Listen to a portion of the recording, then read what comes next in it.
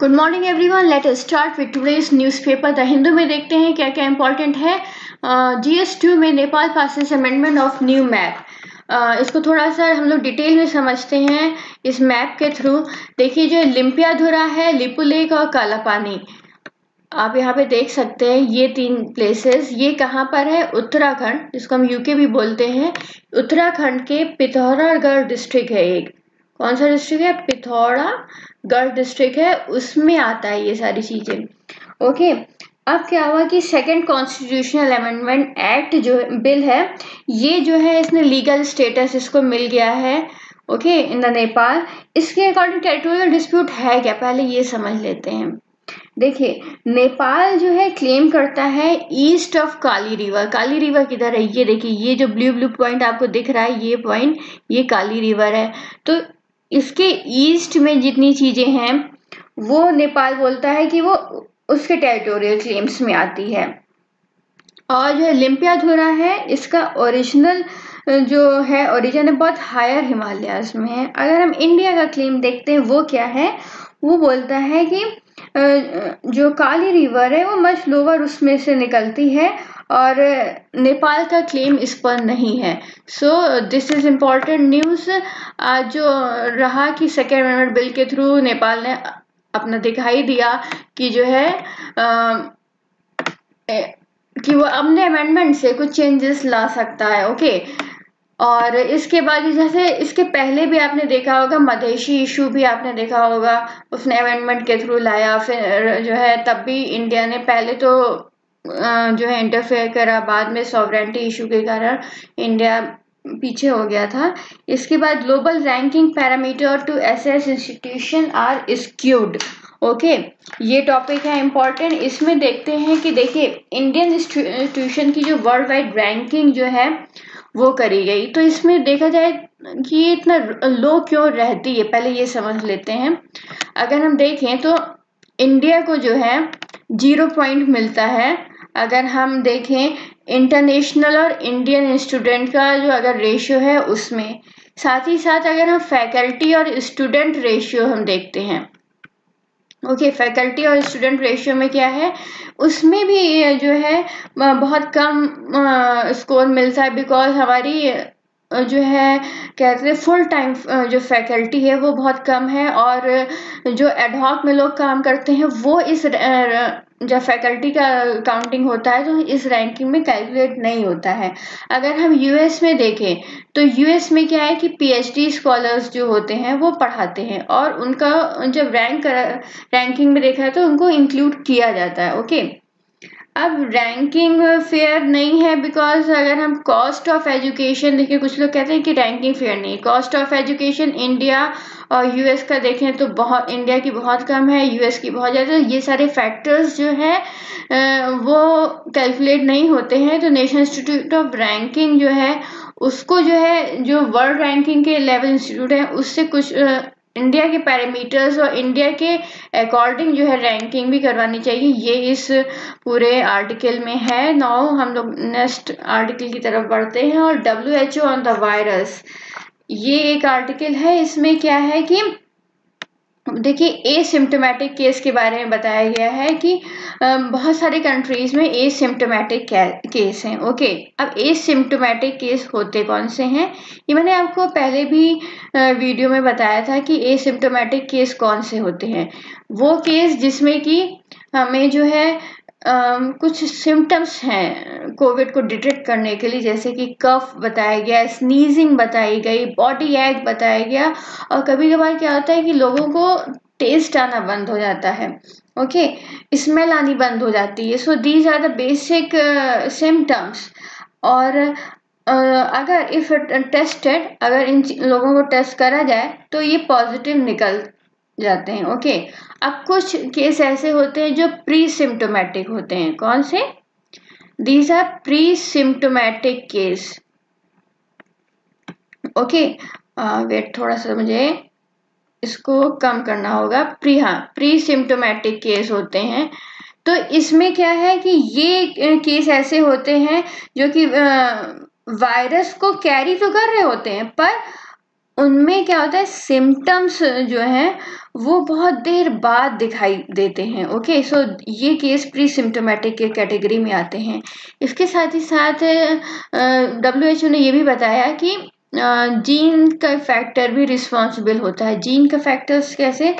Like जैसे कि blood group A है ओके और ब्लड ग्रुप ओ है। सो व्हाट हैपेंस कि जो है ये जो ब्लड ग्रुप है, ये मोस्ट ससेप्टेबल है टू कोविड नाइन्टीन वायरस और ओ थोड़ा कम है ससेप्टेबल मतलब जो ब्लड ग्रुप ए वाले हैं, उनको रेस्पिरेटरी प्रॉब्लम्स ज़्यादा होंगी इन कंपैरिजन टू ब्लड ओ अगर कोविड नाइन्टीन वायरस उन पर अटैक करता है। साथ ही साथ अगर देखा जाए तो जो है डायबिटिक वाले लोगों को ज़्यादा करेगा ये वायरस अटैक और जिनको हाइपरटेंशन की प्रॉब्लम है। सो so, ज़्यादातर ये बोला गया कि ओके ये दीज आर ये थ्योरीज हैं ये रिसर्च चल रही है स्टडी चल रही है बट अभी कोई जेनेटिक लिंक इतना मिला नहीं है ओके अब आगे का टॉपिक है India China the line of actual contest इस टॉपिक को देखते हैं और समझते हैं कि अच्छा पहले मुझे ये कमेंट करके आप लोग बताओ कि जो है इंडिया और चाइना की international boundary line I am repeating India और चाइना की इंटरनेशनल बाउंड्री लाइन क्या कहलाती है?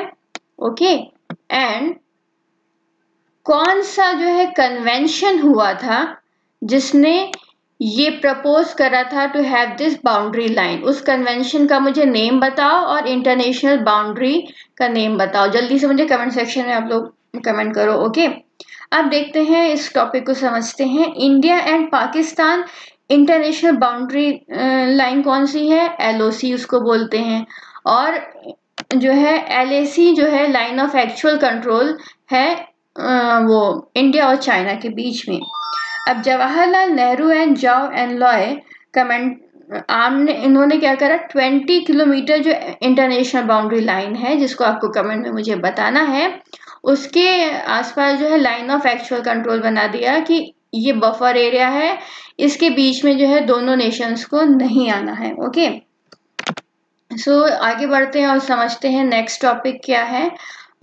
It is NGT gives Kerala one month to report on forest fire prevention step ये कंजर्वेशन वाले इशू में आएगा और रिटर्निंग लेबर्स में be deployed for Jal Jeevan mission अब जल जीवन मिशन जो है कौन सी मिनिस्ट्री के अंदर आएगा this is important thing to note ये आएगा जल शक्ति मिनिस्ट्री के अंदर ओके अब इसमें करेंगे क्या ये लोग ये समझते हैं देखिए सारा वर्क अभी आपने देखा होगा या अगर आपको नहीं पता है तो बता दें कि माइग्रेंट वर्कर्स जो हैं आ रहे हैं ओके सो ज़्यादा से ज़्यादा इनको एम्प्लॉयमेंट कहाँ सरकार दे सकती है, वो है मनरेगा के थ्रू ओके इसमें क्या होता है कि पर फैमिली एम्प्लॉयमेंट जो है मिलता है।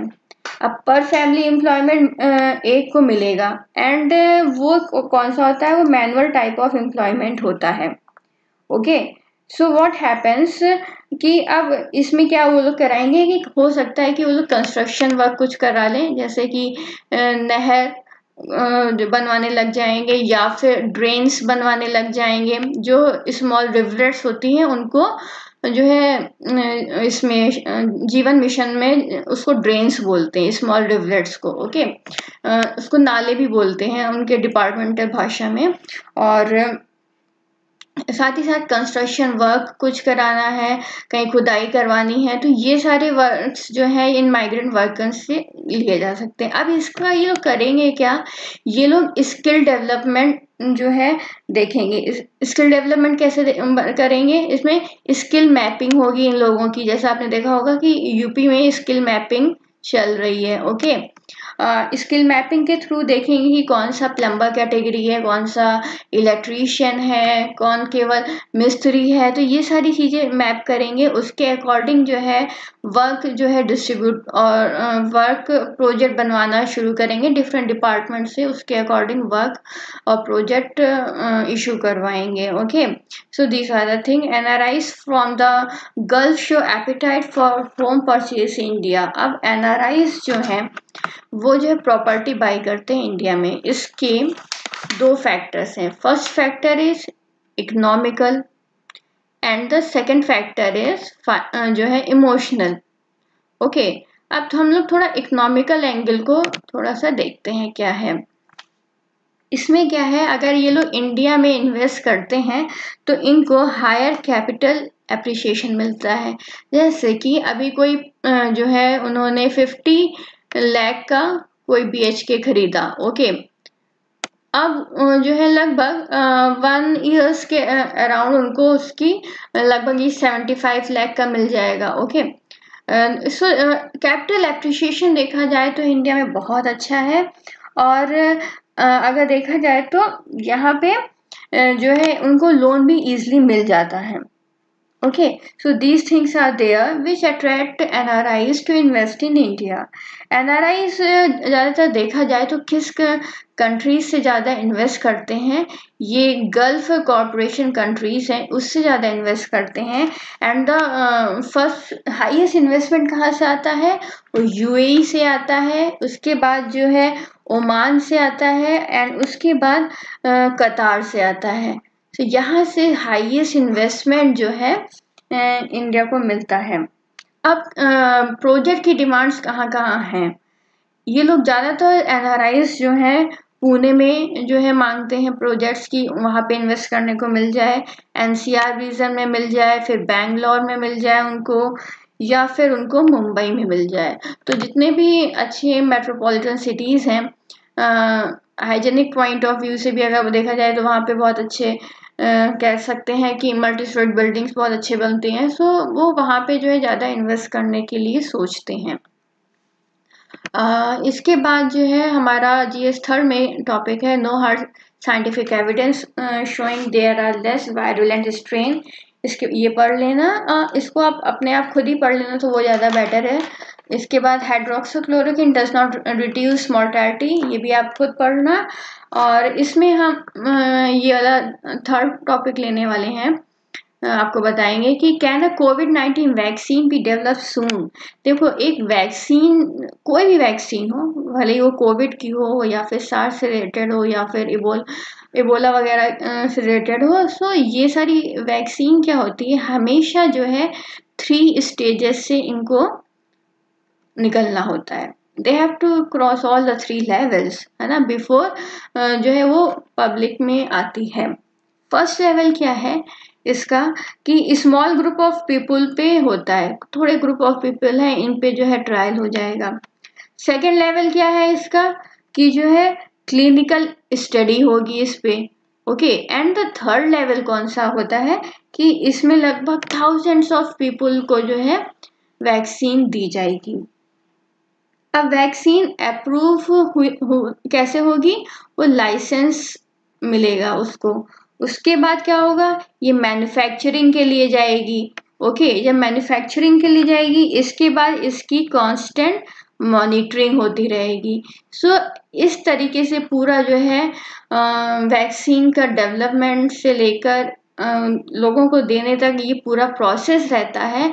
और अगर देखा जाए तो लगभग टेन ईयर्स तक लग जाते हैं कभी कभार क्या होता है कि कुछ कंट्रीज़ कभी कभार ऐसे वायरस आते हैं, जैसे यूएस में देखा जाए तो जो है यूएस ने बहुत एक बार केस आया था कि यूएस ने आई थिंक सो सार्स वाला ही केस था, कोई था केस तो उसमें उन्होंने कहा कि हाँ मेरी वैक्सीन विदाउट टेस्टिंग वैक्सीन उन्होंने लोगों को इंजेक्ट करना शुरू कर दिया, जिसका कि आफ्टर इफ़ेक्ट बहुत ही बुरे हुए, लोगों में सिम्टम्स जो है निगेटिव दिखने माने नेगेटिव सिम्टम्स दिखने लग गए थे, बहुत न्यू न्यू प्रॉब्लम्स आने लग गई थी ओके अब प्रीलिम्स इंपॉर्टेंट न्यूज़ देखते हैं, Pune firm develop digital font of P L देश शिंदे और इस फॉन्ट को, इसको आप देखिए प्रीलिम्स में कैसे आ सकता है कि P U L A hundred क्या है ओके इस तरीके से P U L A hundred was recently in news अब आपको पता होना चाहिए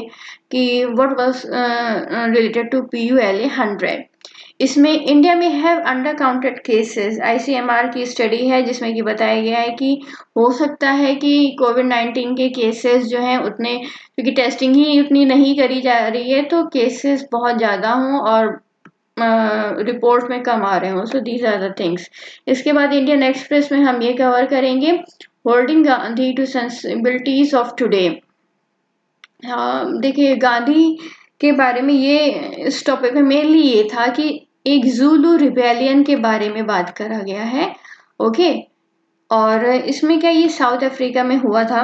एंड गांधी जी ने वॉल्टियर किया था कि एक इंडियन एंबुलेंस स्कॉट जो है ब्रिटिश के साइड में ओके एंड दो स्कॉट्स वॉज़ आज की वो जो है नर्स वगैरह को रेस्क्यू करें।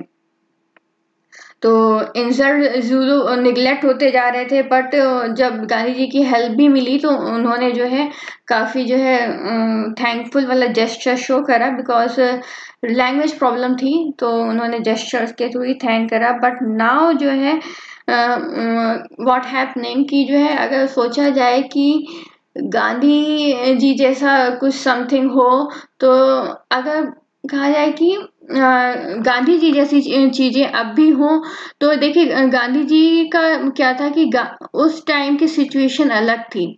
गांधी जी ने वो जो स्टेप्स उठाए थे, वो एक एक कह सकते हैं कि इनोवेटिव स्टेप्स थे, जो जिसने पहले कभी नहीं उठाए थे नॉन वायलेंस के थ्रू और उसको जो है नेल्सन मंडेला जी ने या मार्टिन लूथर किंग ने भी फॉलो करा। तो उस टाइम पे ये चीज़ें फॉलो करना एक डिफरेंट कंट्री में जाकर लोगों के खिलाफ लड़ना, ये एक बहुत ही यूटोपियन आइडिया था जो कि गांधी जी ने करके दिखाया। So this was the article mainly about और ये आर्टिकल जो है आपका जी एस वन में आ जाएगा। And thank you thank you for watching